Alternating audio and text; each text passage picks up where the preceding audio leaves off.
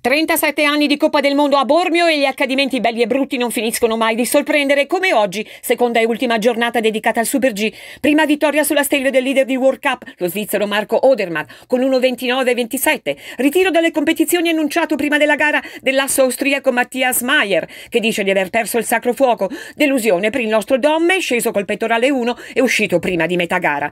Uh,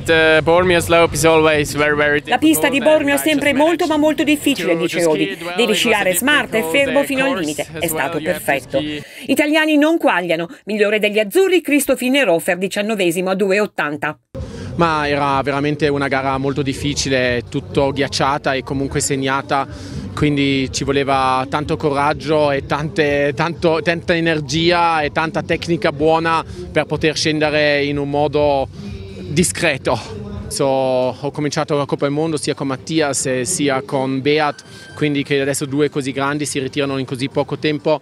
Certamente mi dispiace, mi fa anche vedere che l'età ha dei limiti e io che sono ancora un bel po' più vecchio, certamente non rimarrà nemmeno per me tanto tempo, però eh, ci mancheranno. Ottimo secondo posto per il dominatore della libera di ieri, l'austriaco Vincent Krickmayer.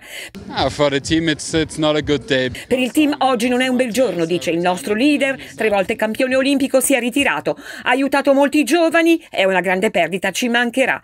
Perfetta l'accoglienza di Casa Italia e la risonanza turistica. Due giornate con il pienone, pista Stelvio in grande spolvero e cosa dire di più? Uh, I ragazzi dell'istituto alberghiero fantastici, impeccabili, due giornate di festa per Bormio, per la nostra località e cosa dire? Stiamo pian pianino avvicinandoci al 2026, il grande evento delle Olimpiadi e tutti gli anni si cerca di migliorare. Sono state due giornate estremamente positive sia dal punto di vista tecnico sia dal punto di vista di affluenza delle persone, il tempo è stata dalla nostra, eh, tutti gli atleti e gli addetti e gli organizzatori sono tutti contenti, quindi diciamo che eh, finiamo, terminiamo il 2022 con eh, eh, nel migliore dei modi e ci auspichiamo nel 2023 di riuscire a farlo crescere ulteriormente e a coinvolgere sempre più persone.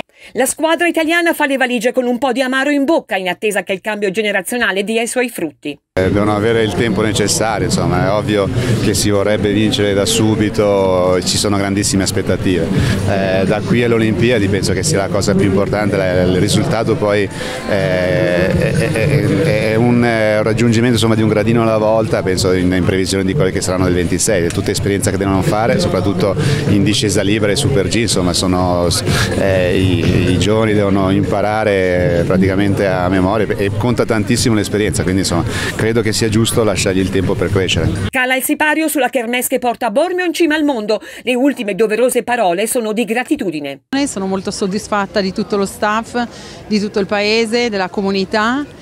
Del, dello staff operativo, soccorsi, siamo veramente una grande comunità che in occasione dei grandi eventi si unisce dal meglio di sé.